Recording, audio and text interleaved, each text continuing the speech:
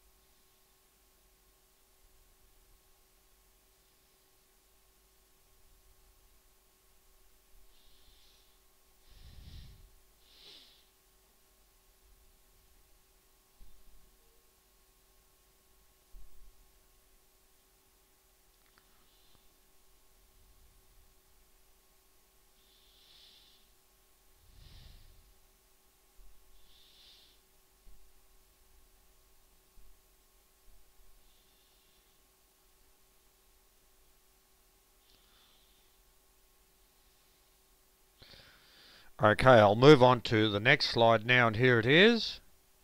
I'll leave it on for a minute or so, but you can pause it for as long as you like.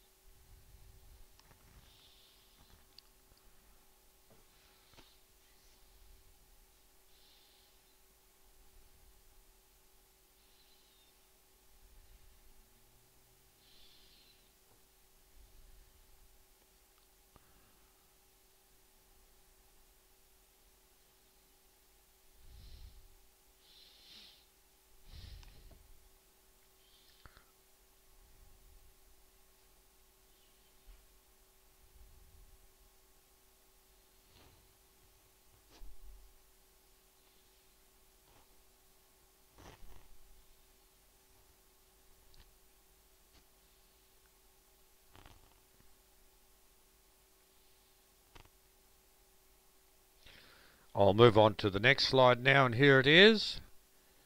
Again, I'll leave it on for about a minute or so, but you can pause it for as long as you like.